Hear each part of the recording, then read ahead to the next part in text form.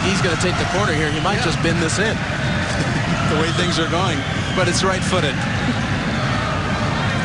Leaves it short for Stephens. Gives it back to Magee. Stephens, back post. Gonzalez out front.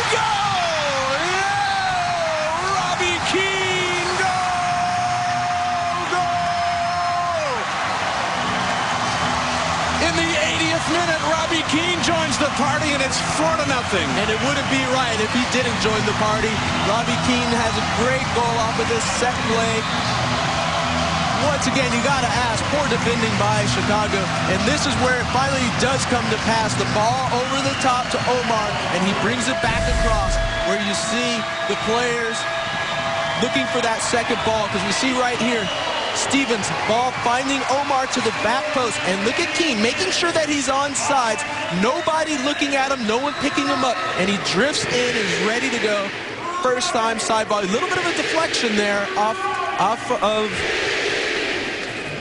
I think it was Anibaba, and it goes into the net, and a great celebration by Keane.